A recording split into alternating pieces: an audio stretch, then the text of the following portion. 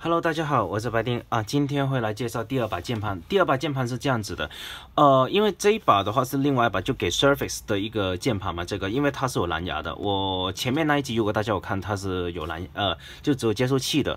然后键盘的话，我没有买那个鼠标，我就买键盘。为什么？就我还是喜欢用这个鼠标。呃，它新的那个我觉得没什么特色，我还是喜欢这种馒头的，就是这这这个鼠标啊。然后这个的话，首先我们讲一讲，哎，你看到跟刚刚那个差别就不一样了，就前面的另外一把。你看这个，它是完全还是取就回去那个一百零八键的那个布局嘛，对吧？然后曲面还是一模一样，没有问题。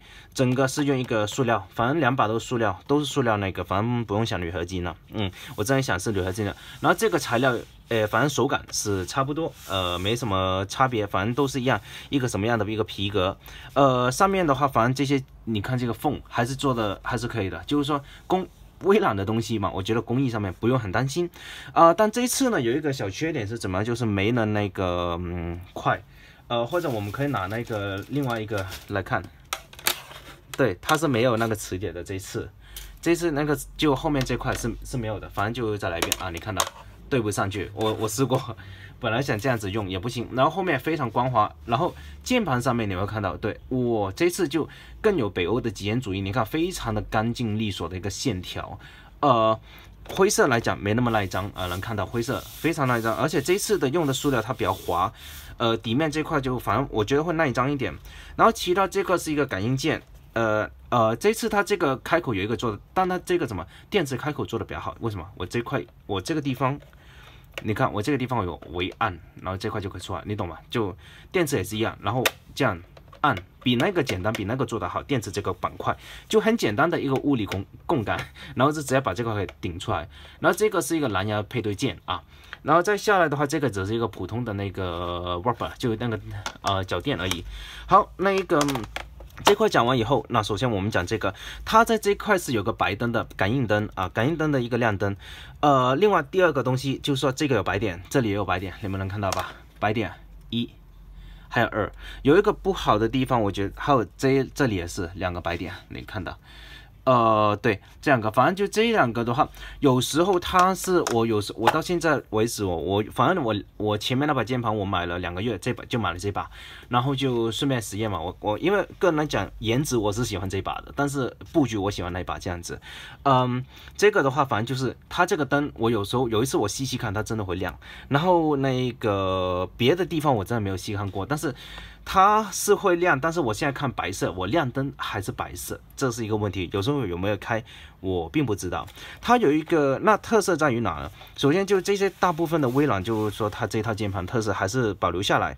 呃，键程上面 这个会更长，比起之前那个键程比较短，这个会长一点啊。然后这个的手感又比较比较弹，比。回弹回弹还有手感会做得更好，比比上一个，呃，然后这个的话就是手感上，然后其他的，呃，这次一按下去的时候，这一块的话怎么讲？你的桌子要相对来讲，就是说要比较高一点点会比较好一点，就是说。按压下去的时候，手手腕的那个承受压力也是没那么大，但而且它一样，就是说手反正手指的那个键程还有那个怎么说？对，键程还有它那个布局来讲，也是做的可以的。就是说你不会说我手拉的特别远，特别你看 Ctrl 加 J 这一次非常短，我就我有以前可能是这样子或者这样，对吧？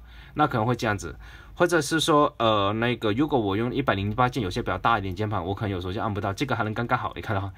但我通常是这样的，我通常这样，这个倒还好，这这个是习惯动作了，应该其实正常这样，呃，然后这这两个它也是做的比较好，就是有时候我这么按一下这边看一个影片，这边停，或者我看这边就不会说，呃，有时候我按完这边，然后这边就怎么讲呢？就是说像那个机械键盘的微信键嘛，有时候按这边按单边的话，这边会好像被拉下去一样，就是说会那个没那么顺畅，按的时候，它这个分两个其实是很很重要的这一下，就这条直线，好。那个再说了，呃，这个的话是一个键键程上，呃不，那个不，呃，FN 这块的话它怎么样？我按以前是怎么样？你笔记本我按一下 FN，再按相对功能，然后去去调，对吧？它这个不一样，按一下，然后你就可能是说我这次调音响什么的这些快捷键都会有，你看，这些都会在。都在这里啊，但是呢，我关一下的时候，它就这些所有的一个键盘，对吧？都会那一个，就是说，就直接变成 F 一到 F 十，你直接按那个就可以了。反正就是说，Microsoft 的你可能感觉到这两呃那个怎么讲，两把的一个键盘都反正都大致雷同，只是说一些细节上面的一个区别。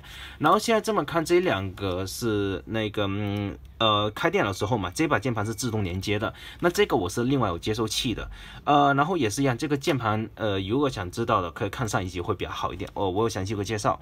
呃，键盘上面的话。这一把大概就是这样子，然后长大的话也不会特别大，我呃可以给你们看一下那个尺寸上面来讲，其实你们网络都能看了，我就没有量了，它跟钢笔不太一样，呃我大概大概量一下，反正就是一个这把会比较，我觉得应该是偏大，那个是那个四十六厘米，四十六厘米的一个呃键盘的一个长度啊，呃其他的话还有那个就是说它这个地方。你会看到，其实它键盘上面有做一个很微微的细条。你看，它最低的这一排它是比较长的，看到吧？这个的话，反正就我用起来是挺顺手。当然，我不知道有什么差别，反正呃，用起来反正可能没有没有很下意识的用。但是呃，这把键盘我用的时候很少误触，对的。那大概就这样子。其实这把键盘就只能说很简练，对吧？非常简练的一把键盘，对的。好的，那一个这把键盘大概介绍就差不多到这里了。那有什么问题下面留言给我，呃，对，或者有什么可以帮我纠正一下的，帮我纠正一下。好的，那一个谢谢大家。